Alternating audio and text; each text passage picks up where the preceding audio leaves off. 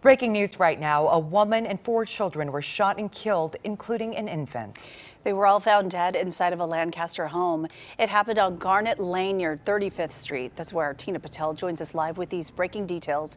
Tina, this is a heartbreaking story. It really is. You can see that this neighborhood is still blocked off this morning, and we've been watching investigators go in and out of that home. We're told that they were called here around 10:30 last night. We have some video from overnight. It shows the investigation underway. They tell us that when they arrived, they found a woman who had been shot in the upper torso, and they also found, as you said, four children, a girl and three boys. They had all been shot. One was an infant. All were under the age of 12. None of them survived.